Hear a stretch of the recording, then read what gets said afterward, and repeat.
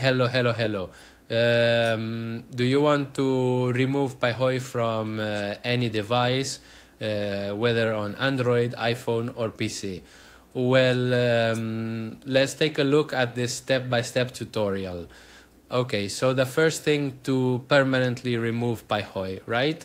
That includes uh, removing both uh, uh, the application, and also the data from PayJoy, all right? Uh, we are going to go to settings and we are going to uh, the application section. Uh, at the bottom, uh, for iPhone, for Android, it will be uh, a little higher up, all right? Let's go to the app section and here we are going to go to the PayJoy application.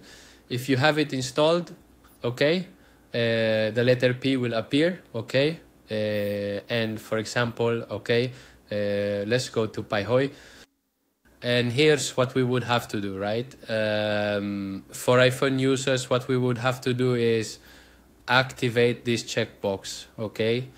And for Android users, you can also remove, okay? Uh, uninstall the cache of the PayJoy application.